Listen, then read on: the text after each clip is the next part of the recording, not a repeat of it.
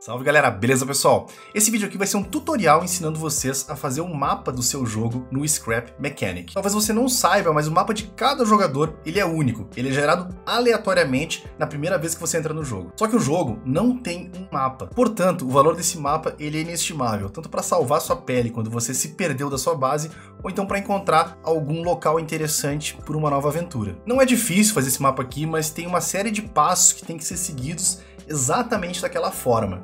Eu vou fazer o vídeo de forma bem devagar, pessoal. Se você não entender algum momento, só dá pause no vídeo, voltar e ver o que eu fiz. Mas não tem mistério, é só ter atenção. Se mesmo assim você não conseguir, deixa um comentário no vídeo que eu vou tentar te ajudar. Mas antes da gente colocar a mão na massa, eu acho e eu espero que esse vídeo aqui chegue a muitas pessoas que ainda não conheciam o meu canal. Se você é uma dessas pessoas, não deixe de dar uma conferida no canal, tem vários materiais interessantes, tanto de Scrap Mechanic como de outros jogos, várias séries legais, eu tenho um conteúdo aqui que eu crio com muito carinho, eu gostaria que você conhecesse, e se você gostar, você já aproveita para se inscrever, entra pra família e me dá aquela força, ok? Então, dá uma olhadinha, se você gostar, você fica por aqui. Ok, galera? Então, vamos começar. Não é tão difícil assim, é só prestar atenção. Vamos lá. Perfeito, pessoal. A gente vai precisar fazer o download de dois arquivos cujos links estão na descrição do vídeo. O primeiro deles é um programa, é o AutoHotkey, que é um programinha de macro bem simples, bem pequenininho. A gente vai fazer o download dele, depois a gente vai instalar, mas a gente também tem que baixar o macro, o programa que vai fazer esse mapa pra gente. O link tá na descrição também, e para baixar a gente vai clicar em Code e em Download Zip. Os dois arquivos já estão na minha área de trabalho e a primeira coisa que a gente vai fazer vai ser abrir o arquivo RAR e vai ser tirar aquela pastinha que tem ali dentro e colocar ela no desktop. Ela já está aqui e vocês podem ver que os arquivos todos estão aqui, inclusive a macro que vai fazer o mapa pra gente. Dentro dessa pastinha HTML é onde vai ficar o nosso mapa depois. Agora a gente vai instalar o AutoHotkey. A instalação é super rápida. Depois que vocês fizerem esse processo, podem desinstalar ele numa boa. Ele vai ser utilizado somente para fazer o mapa. Perfeito, pessoal. Agora a gente vai a Steam, vai entrar na página do nosso jogo e vai nas propriedades do jogo, justamente para poder abrir a pasta do jogo. Dentro da pasta do jogo, a gente vai entrar em Survival, depois em Scripts, depois em Game, e aqui a gente vai procurar um arquivo chamado Survival Game. Esse é o nosso arquivo original. Portanto, eu vou modificar o nome dele para que eu saiba qual é o arquivo original. Perfeito. Ele está salvo, ele está reservado. Agora eu vou lá naquela pastinha que a gente baixou antes, e aqui também tem um arquivo Survival Game. Eu vou pegar esse arquivo aqui e vou copiar para a pasta do nosso jogo. Portanto, eu substituí o arquivo, mas ao mesmo tempo eu mantive o original. O próximo passo, pessoal, é a gente abrir a pasta onde está o save game do nosso Scrap Mechanic, justamente para fazer o backup e ficar mais seguro. Para isso, a gente vai entrar no nosso Drive C, o Drive do Windows, entrar em usuários, o nosso usuário, depois a gente vai entrar em app data, roaming, depois a gente vai procurar uma pastinha chamada Axolot Games. Dentro dessa pastinha estão os nossos save games. O save game que a gente usa é esse primeiro, o Scrap Mechanic. Eu vou fazer uma cópia dele e vai ser, que vai ser justamente o backup. Foi essa cópia 3, eu já tenho alguns backups feitos, como vocês podem ver. Eu vou renomear agora esse, essa pastinha aqui para saber que ela é o meu save atual. Beleza, entramos no jogo, vamos em opções. E a primeira coisa que a gente vai fazer vai ser colocar o FOV em 90. Depois, pessoal, a gente tem que colocar o Display Mode, prestem atenção, em Borderless Windows, ou janela sem borda. Mas é muito importante aplicar essa configuração. Resolução Full HD 1920 por 1080. Opções gráficas, coloca absolutamente tudo no mínimo. O que é fundamental é desligar o Depth of Field. E a única coisa que a gente vai deixar no alto vai ser justamente a draw distance, que é a distância que a gente enxerga, uh, vamos dizer assim, os detalhes do jogo. Isso vai ser importante para o nosso mapa, ok? Então, assim, tudo no low, importante mesmo, depth of field off e draw distance no máximo. Entra no seu jogo e a primeira coisa que a gente vai, ser, que a gente vai notar vai ser que os gráficos estão bem mais simples. Essa é a nossa nova base, a base que a gente começou a construir, não terminamos ainda, estamos longe disso. E agora, pessoal, não importa onde você vai estar, a gente tem que parar em algum lugar, mas realmente os gráficos estão bem mais simples. Ainda assim o jogo é bonito, né? Eu, acho, eu gosto desse jogo. Primeira coisa, pessoal, é o seguinte, olha só, a gente tem que esvaziar a nossa barra de itens, tá? Não se preocupe em perder nada, pode jogar as coisas no chão, porque depois a gente vai reverter o save, o save antigo vai voltar, então você não vai perder nada. Aperta a tecla Enter para poder abrir esse menu aqui e vai digitar barra God, justamente para a gente não morrer durante o processo, e barra Day, que é para que a luz do dia fique durante todo o processo e as imagens fiquem todas iguais. Sem fechar o jogo, volta para o desktop com Alt Tab, abre aquela pastinha que a gente baixou e dá dois cliques no arquivo Make Map. Isso vai fazer carregar essa macro no programa que a gente baixou também e instalou, o Auto Hotkey.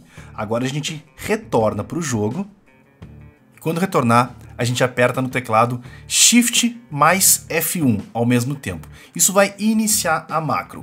Agora, pessoal, depois que ele começa esse processo, vai levar mais ou menos uns 35 minutos fazendo o mapa e você não pode tocar nem no teclado nem no mouse. O computador tem que ficar interditado sem ninguém mexer. O que a macro está fazendo? Ela está jogando coordenadas para dentro do seu jogo que fazem com que o seu personagem apareça em uma altura super alta em diferentes pontos do mapa. Cada vez que ele aparece, ele tira uma foto do cenário e ao final ele vai pegar todas essas fotos e montar um enorme quebra-cabeça que vai ser o seu mapa. E é justamente por isso que você não pode mexer no teclado nem no mouse, porque depende da visão que seu personagem vai ter no jogo, o mapa tá correto no final do processo. Um pequeno detalhe, antes da gente começar a fazer o mapa, se você tem uma placa de vídeo da Nvidia e usa o GeForce Experience, o atalho para você entrar no GeForce Experience é Alt mais Z. Acontece que esse atalho é o mesmo atalho que o Scrap Mechanic usa para esconder o HUD do jogo. Para que o mapa fique perfeito e sem o HUD na frente, você precisa trocar a tecla do atalho do GeForce Experience. Como eu não uso o GeForce Experience, não tem problema nenhum. Se você não tem uma placa de Nvidia ou não usa o GeForce Experience, não precisa fazer nada. Isso é só para quem usa esse programa, então é bem importante mudar essa tecla para não dar conflito.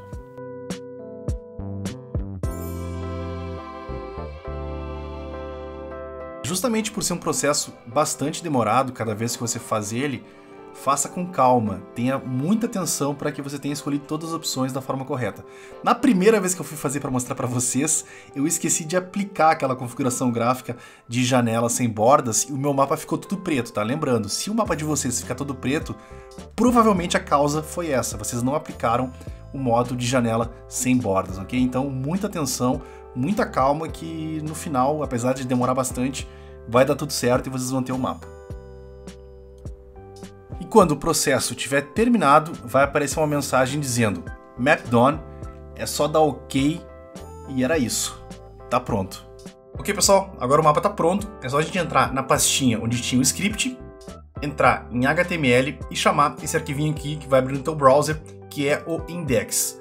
Tá aqui o mapa, esse aqui é um mapa atualizado que eu fiz agora, portanto, ele já vai ter aquela nossa, a nossa nova base, né? Fica mais ou menos aqui, exatamente aqui, olha só a nova base. E é isso, pessoal. Só agora aproveitar, no momento que você se perder, você pode utilizar esse mapa para poder achar de volta o caminho para sua base. Então, dá uma olhadinha por cima aí para imaginar alguns lugares legais que valem a pena explorar. E depois que o mapa tá pronto, pessoal, a gente já pode fazer o seguinte. Eu vou fechar isso aqui. Essa pastinha aqui é a pastinha onde está teu mapa, tá? Não deleta ela. Guarda ela num lugarzinho, bota ela no cantinho do desktop, onde você, onde você preferir, no caso, né? E, pessoal, eu vou abrir aqui agora aquelas duas pastinhas que a gente trabalhou antes. Primeiro, a pasta do, do save do jogo, né? O que, que eu vou fazer? Eu vou deletar essa daqui. E aquela que eu fiz aqui, que eu botei o nome de antes do mapa, eu vou tirar isso aqui e vou deixar assim, ó. Perfeito, backup feito. A gente tá com o save anterior, essa brincadeira que a gente fez, antes de eu jogar os itens no chão, antes de eu tirar as fotos do mapa e parar o nosso. Porque o meu personagem, quando terminou a, a, as imagens do mapa, ele ficou parado no meio do nada, lá no meio da água e tal, nem sei onde é que ele ficou. Então, a gente tá com o save antigo agora, que é o save anterior a gente fazer essa brincadeira. E a gente também tem que entrar na pasta do jogo, que tá aqui, e pegar esse arquivo em Survival Game. Eu vou deletar ele, e eu vou pegar esse Survival Game original aqui e vou renomear ele da mesma forma do que tava o outro, olha só. Ok, fecha isso aqui, o jogo tá intacto, original, sem nenhum problema, inclusive o save tá anterior, e o nosso mapa tá pronto pra gente poder utilizar logo aqui. Perfeito, pessoal? Bom, pessoal, espero que vocês tenham gostado, que tenha dado certo o mapa para vocês. Não esqueçam de aplicar as configurações de vídeo quando vocês selecionam a janela sem borda, porque se vocês não fizerem isso, o mapa de vocês vai ficar todo preto. Se o mapa ficar todo preto, é porque vocês não aplicaram corretamente o modo de vídeo, ok? E não esquece de deixar o like no vídeo, quem puder compartilhar o nosso canal, esse vídeo aqui, eu agradeço muito. Se você ainda não conhecia o canal, aproveita para conhecer, dá uma olhadinha nos vários vídeos que a gente tem, várias séries interessantes, eu acho que você vai gostar. E se você gostar, você já se inscreve, junta a família, ativa o sininho para receber as notificações dos próximos vídeos. Era isso, pessoal. Deixa comentários no que você achou, se você curtiu. Se você tem alguma dúvida também, eu posso tentar ajudar você, se alguma coisa não deu certo. Um, o tutorial que eu fiz é para dar certo, tá? E aquela coisa. Com dificuldade, volta um pouquinho o vídeo, dá pausa, olha com calma e faz passo a passo que não tem erro, tá? O único problema realmente é o tempo que demora para fazer esse mapa. São, como eu disse para vocês, acho que umas três vezes já, é cerca de 35 minutos, é muito tempo. E não pode mexer no teclado e no mouse enquanto isso está acontecendo. Beleza? Então era isso. Um grande abraço e até a próxima.